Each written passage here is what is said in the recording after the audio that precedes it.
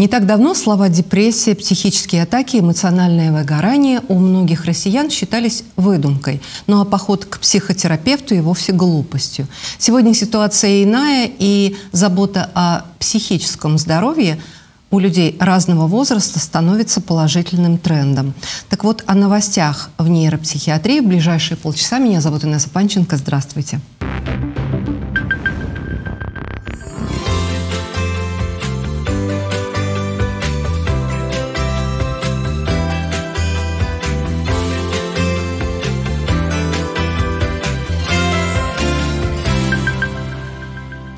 Программа выходит при поддержке Министерства здравоохранения Самарской области, Самарской областной ассоциации врачей и информационной поддержки журнала «Личный врач».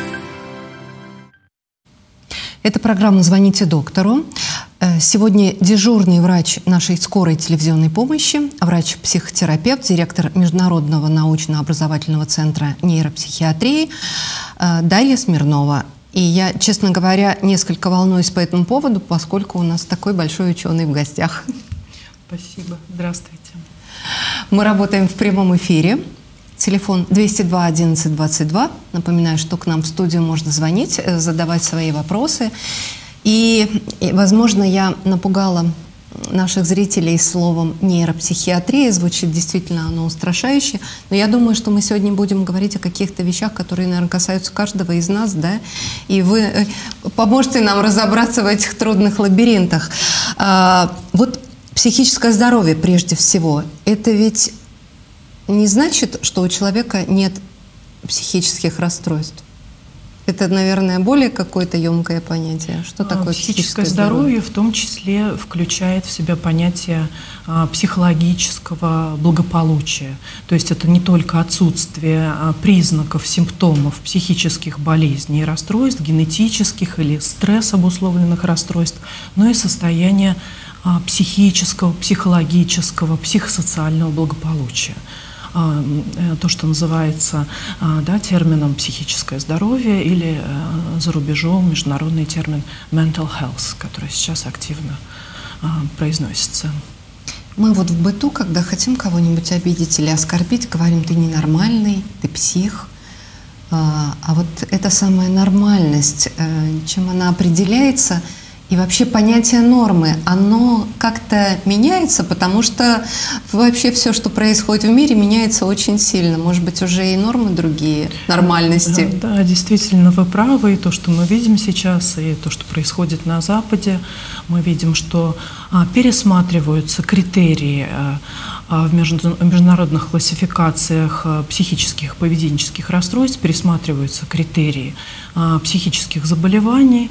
Один из примеров – это ситуация с трансгендерами, с гомосексуализмом, и то, что раньше считалось перверзией, то есть отклонением от нормы, начинает приходить да, в понятие нормы и пересматриваться в классификаторах. В основном это а, две а, зарубежные ведущие организации, которые определяют эти критерии на основании полевых, сложных и длительных исследований с участием специалистов и экспертов из всех стран мира.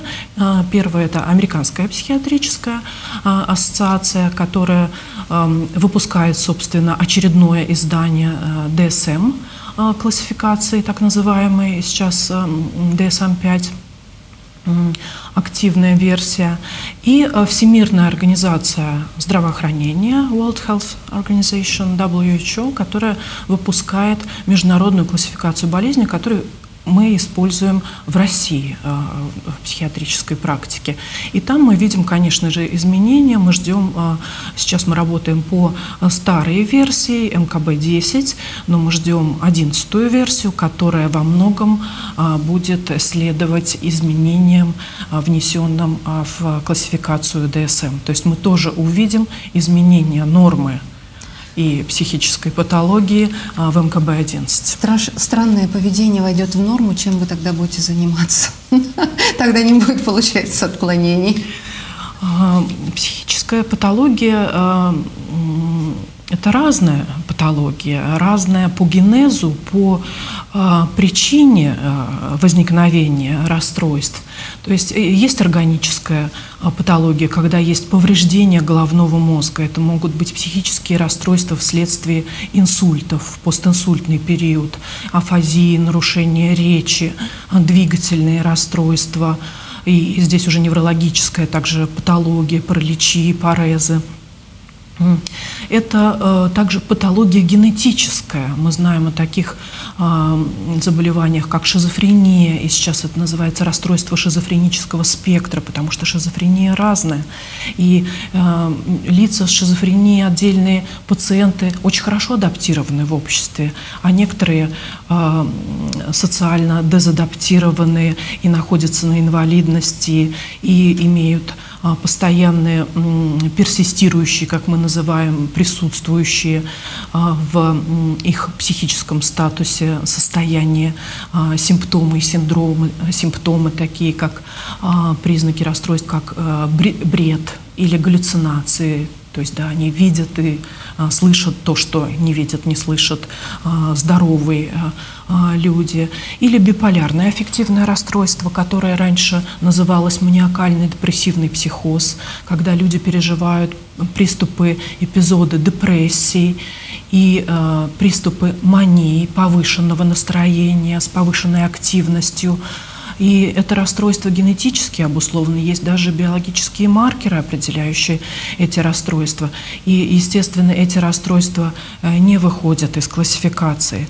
Также и стресс-индуцированные расстройства, э, невротические, связанные со стрессом расстройства, расстройства адаптации в результате, хронически действующие психотравмирующие ситуации э, или острые психотравмы, стрессора могут вызвать депрессивные, тревожные реакции, паническое расстройство, социальные фобии. То есть все это, безусловно, остается а, в классификаторах и остается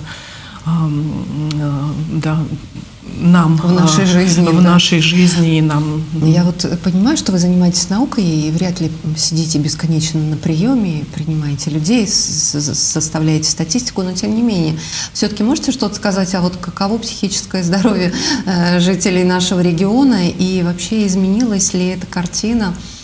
Ну, с начала пандемии, наверное, не можем не говорить об этом, да? А, безусловно, безусловно, здесь есть изменения и эм, э, в состоянии психического здоровья населения и отдельных уязвимых групп населения. А, в частности, мы проводили а, большое мультицентровое исследование, и где мне доводилось играть роль главного координатора. Основным исследователем выступал профессор Константинос Фантулакис, заведующий кафедрой психиатрии Университета Салоники. А, в исследование были включены группы, а, исследовательские группы из 40 стран мира, то есть мы могли и имели возможность сравнить а, психическое здоровье и его изменения в ответ на стресс пандемии ковид в этих странах. И общая тенденция действительно такова, что психическое здоровье ухудшилось, выросли, выросла распространенность и заболеваемость депрессиями, в том числе у лиц, которые раньше не имели психических расстройств. То есть не только наши пациенты отреагировали на пандемию, уязвимые э, и угу. уже ранее переживавшие состояние аффективных нарушений, депрессии, тревоги, но и пациенты впервые испытывали депрессию как клиническое состояние. Не сниженное настроение просто, которое может быть у нас в ответ на а, да, какие-то а, изменения и плохие новости, которые мы получаем, а именно изо дня в день а, присутствующее плохое настроение, сниженное настроение, оно может включать также в себя тревожный компонент или астенический компонент, усталость, слабость, вялость, раздражительность. А, также моторный компонент, моторные заторможенности, а, двигательной скованности, то есть когда пациент э, э, не посещает фитнес-клуб, который раньше посещал регулярно и предпочитает оставаться а, дома, то есть снижается его физическая активность, что связано с депрессией. Э, это могут быть плохие мысли, том числе суицидальные мысли, и мы тоже увидели этот выросший процент суицидального риска и суицидальных мыслей. Это не всегда суицидальные попытки или поступки, и завершенные акты суицида, а это могут быть мысли о нежелании жить, или о том, что жизнь не представляет какого-либо интереса. Феномен ангидонии, невозможности получать удовольствие от того, что раньше приносило, это тоже один из основных признаков э, депрессии. Э, депрессия за время пандемии увеличилась э, в два и более в два с половиной, в два шесть раз получается, в том числе в Самарском регионе, и в том числе в России у нас было 9 тысяч ответов, то есть это так называемые большие данные, и это очень серьезный показатель. Ранее мы прогнозировали такой прирост депрессии только к 2030 году. Полтора года пандемии дали этот прирост в несколько раз. Также и тревожные расстройства, и другие а, психические а, нарушения мы также исследовали. Они возникли в ответ на а, стресс, а, неизбежный вот этой вот да, пандемии и социальной изоляции как отдельный стресс. Вот мы сейчас вместе со всей бригадой выпуска поставили практически галочки по всем пунктам, которые вы называли. Отметили, что мы да, тоже у себя поставили. А, друзья, если вы опоздали к началу программы, э, сегодня у нас в студии Дарья Смирнова, врач-психотерапевт, директор Международного научно-образовательного центра нейропсихиатрии. И, собственно, э, об этом центре-то я и хотела вас спросить. Э, вы же нам всем поможете, тем, кто поставил галочки. На самом деле, что это за центр вообще, что он из себя представляет? Наш центр, э, Международный научно-образовательный центр нейропсихиатрии, был организован в 2021 году до э, э, э, важных стрессовых событий в нашей э, жизни. Э, центр организован как структурное подразделение Самарского государственного медицинского университета по инициативе ректора Александра Владимировича Колсанова. Центр предполагает а, прирост компетенций в ВУЗе по направлению нейропсихиатрии. И а, в нашем центре работает международная междисциплинарная команда. Это и врачи-психиатры, врачи-психотерапевты, клинические психологи, неврологи.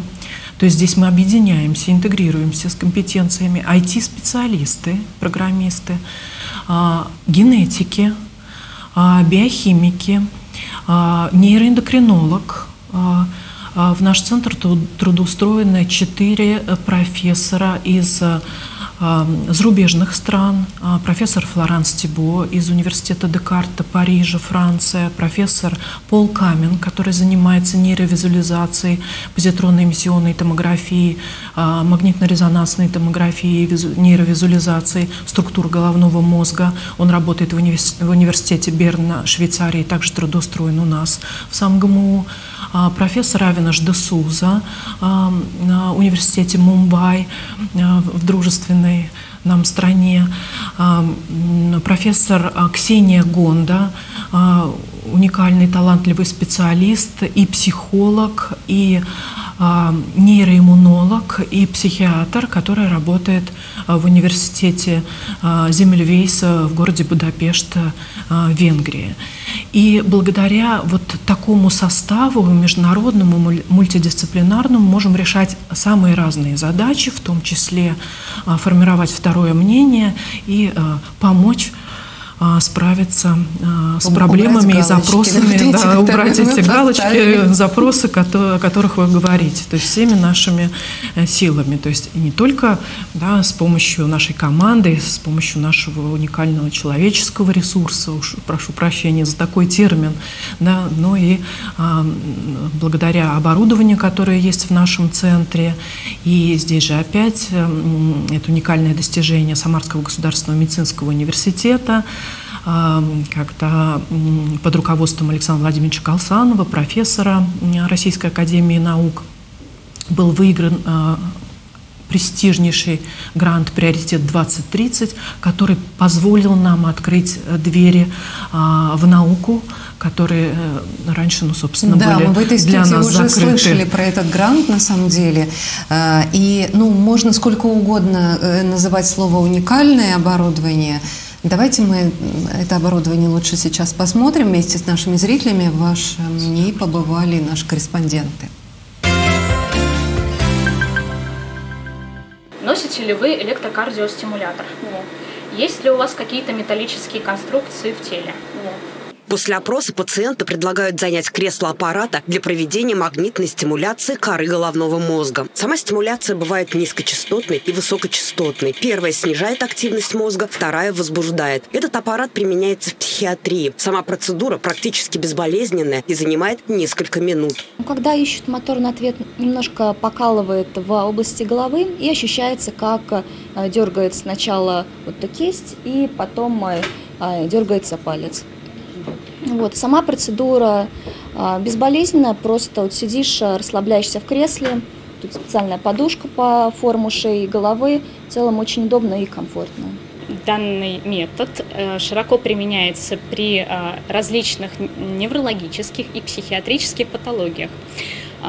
Если мы говорим о неврологии, это последствия инсульта, болезнь Паркинсона, некоторые случаи эпилепсии, если мы говорим о психиатрии, то есть есть множественные исследования, которые подтверждают эффективность ТМС при шизофрении, при депрессии. В Международном научно-образовательном центре нейропсихиатрии Самарского медуниверситета специалисты применяют различные экспериментально-психологические методы исследований, в том числе и нейропсихологические. Они позволяют раскрыть механизмы психических расстройств, выяснить, что является первичным, а что вторичным нарушением. Например, пациенту предлагают разложить карточки определенного размера и цвета, в хронологическом порядке. Как правило, эти методики используются для того, чтобы оценить когнитивные функции, память, внимание, интеллект, мышление, а также еще и э, позволяют определить эмоциональное состояние пациента и э, его личностные особенности. Эта информация используется потом для построения психокоррекционных программ и программ реабилитации пациента. В центре изучаются биомаркеры психических расстройств и планируется создание тест-систем для оценки эффективности и безопасности фармакологической терапии. Вот какой вопрос пришел в голову после просмотра этого сюжета. Мы с вами уже начали говорить пандемию, депрессии, к чему это привело. И в это же время социологи отмечают э, увеличение продажи антидепрессантов. Сейчас их очень любят назначать неврологи. Но правильно ли я поняла, что вот исследования ваши посвящены, посвящены тому, что не любой препарат э, и не любому человеку можно назначать. Речь идет о каком-то индивидуальном подходе, если я правильно поняла. Совершенно верно. Речь идет о индивидуализированном, персонализированном подходе. И как общая тенденция сейчас в медицине и в исследованиях мы двигаемся от а, точной и персонализированной медицине к индивидуализированному подходу. То, что мы изучаем, мы изучаем биомаркеры психических расстройств, депрессии при биполярном аффективном расстройстве, шизофрении и а, в том числе эффективность и безопасность антидепрессивной терапии. Действительно, один и тот же препарат а, в одной и той же дозировке может сработать и не сработать у а, разных пациентов. Это может зависеть от его генетических особенностей. Это так называемые термины, которые определяют пациентов как быстрых метаболизаторов или медленных метаболизаторов. Угу. Например, мы назначаем пациенту препарат, и он действует с малой дозы. а, или и при этом развивает большое количество побочных эффектов. Или препарат не действует вообще, и 50-70% пациентов относятся к умеренным метаболизатором, то есть как раз пишется инструкция именно для, этих, э, для этой категории лиц. Но мы имеем 10-15% э, лиц э, с обеих сторон да, вот этой оси, как, когда мы можем не иметь эффект антидепрессанта, или мы можем эфе, иметь сразу интенсивный побочный эффект. То же самое в отношении дофаминергических препаратов, антипсихотических препаратов. И наша задача создать а, Э, фармакогенетические тест-системы, которые позволят определить эффективность и безопасность психофармакотерапии, когда э, мы можем буквально взять каплю крови пациента, тест-полоску и определить, будет этот препарат или эта группа препаратов работать. И это очень важно и с фармакоэкономической точки зрения, потому что в психиатрии мы всегда долго подбираем препараты, исходя из клинического статуса пациента. Здесь же мы можем уже использовать а, биомаркеры и понимать, а, работает а, препарат и работает ли он безопасно для данного пациента. Вот эти исследования, они очень важны. Это одно из важных направлений, собственно, в науке а, персонализированной психиатрии и а, в общей медицине сейчас. Также в онкологии э, тест-система сейчас э, тоже а, разрабатывается очень активно, в том числе у нас в университете. Э, человек с психическим расстройством, он ну, ведет себя несколько иначе, чем в обычном своем состоянии. Он иначе двигается, иначе, ну, наверное, говорит и иначе пишет. Вот я знаю, что у вас есть исследования лингвистические. Вообще, что, что общего между психиатрией и лингвистикой? А, спасибо за этот вопрос. Это мое самое любимое исследование. Собственно, диссертация была посвящена лингвистике и клинико-лингвистическим маркерам депрессий. Действительно, речь – это, собственно, психическая функция. Как мы знаем, психические функции включают в себя память, мышление, интеллект, речь, речевой феномен. И в речи мы тоже видим отражение психической и слышим а, отражение а, психической патологии. Наши исследования по депрессиям показали, что, например, люди с легкими депрессиями чаще употребляют местоимения личные. Я, мы, мне, мое. И если мы возьмем объем текста э, и посчитаем количество слов, то мы увидим, что по сравнению со здоровыми лицами личных местоимений, вот, пожалуйста, лингвистический подход количественный будет больше. Или, например, лица с депрессиями э, употребляют э, больше э, используют в своей речи больше глаголов в прошедшем времени по сравнению с глаголами в будущем времени. То есть они как бы застревают в прошлом, в своих неудачах или в своих попытках справиться с состоянием. И это можно оценить с помощью объективного маркера оценки речи. В том числе это можно использовать в мобильных приложениях, когда пациент разговаривает mm -hmm. и э, автоматически ведется подсчет э, слов и э, приложение может сигнализировать о том, что у пациента снижено настроение или оно уже граничит с клинической э, депрессией, ему стоит обратиться к психологу, к психотерапевту или даже к психиатру, если это депрессия э, среднего или тяжелого уровня. А, лингвистический метод и метод, э, собственно, сейчас машинного изучения речи, автоматизированного анализа речи э, применяется во многих психолингвистических, патопсихолингвистических исследованиях за рубежом. Часто анализируют посты в в, социальных сетях. И, например, одно из исследований показало, что увеличение количества постов в социальной сети может свидетельствовать о депрессии. Определенные слова, которые мы э, видим в постах, тоже могут свидетельствовать о депрессии.